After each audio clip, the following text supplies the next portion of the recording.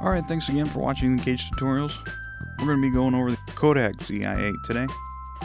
One of the video cameras we have on campus. First you'll get one of these packages. You want to pull out the camera, the battery, battery charger, and the USB transfer cord.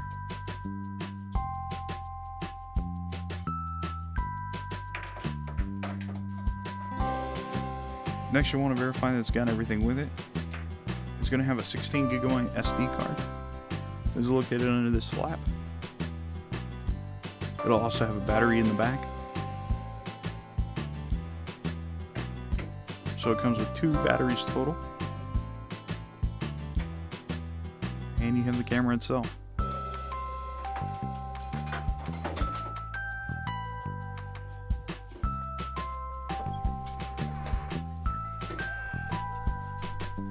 Alright, to put this camera together, you're going to want to verify that the SD card is in there, or put it in there, and you want to make sure that there's a battery placed in the camera.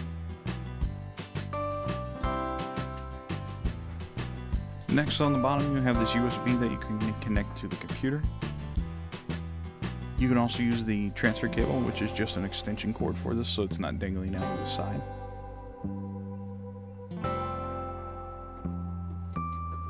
Plug it into this end right here, and then the other end into the computer. And it'll show up just like any other flash drive or camera. And you'll be able to download your video.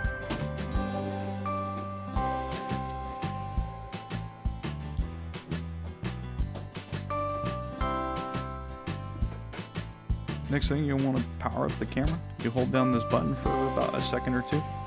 It'll give you a menu option of what frame rates you can actually go at. If you want to turn it off, just hold it down for about two seconds. And that's the camera. We also have a battery and battery charger here. To charge the battery, all you got to do is just drop it on the charger and plug it into the wall.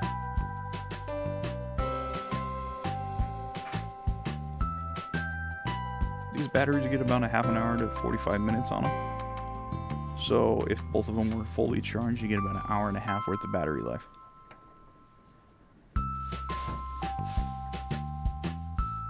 Now you'll see everything that you have that comes in this kit, in this kit.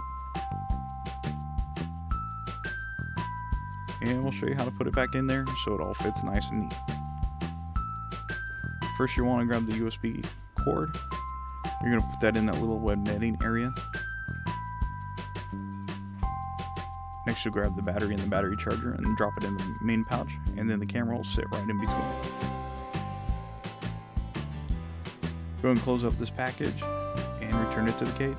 Thanks for watching. Have a great day.